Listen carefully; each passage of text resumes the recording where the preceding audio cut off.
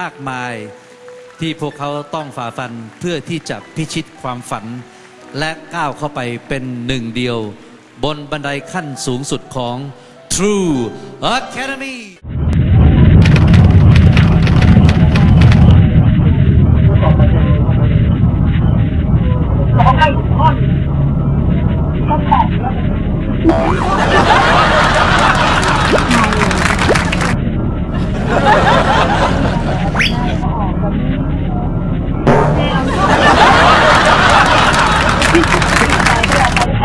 ไล่ลงทางหมวดเองไม่ต้องไปแล้วก็ได้ค่ะ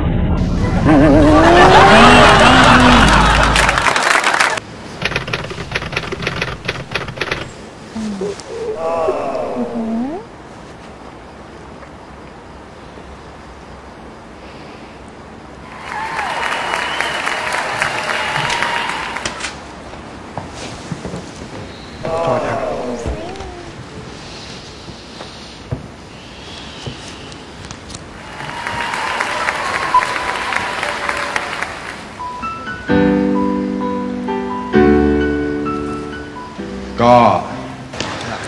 ล้างมือก่อนทานข้าวนะคะ เด็ก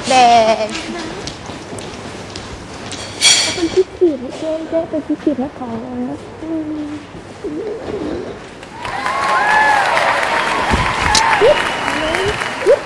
มันเก่งโอ้ข้าวเหนียว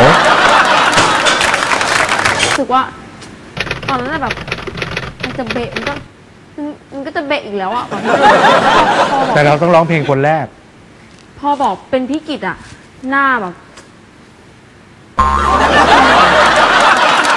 แล้วหันไปมองเจ้เจ้ก็คิดไปแล้วก็บอกเจ้ลุกลุกไปหาเฮียกันอะไรเงี้ยแบบคือกลัวเขาดึงไปแล้วไงเออ กลัวเขาเอาไปอะไรเงี้ย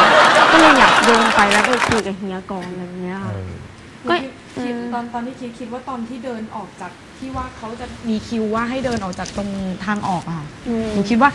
แต่วันนี้เรามีเซอร์ไพรส์เออคิดว่าแล้วจนต้องมีแล้วจนมันเดินออกไปทำไมไม่พูดวะ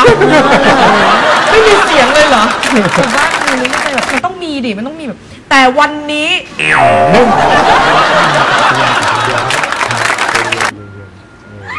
แล้วก็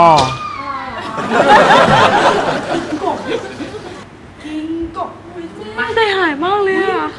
มันมาแต่งในกระเป๋าหนูมีศพมีศพอยู่ในหนังสืออะสุดท้ายสามคนออกมายืนสุด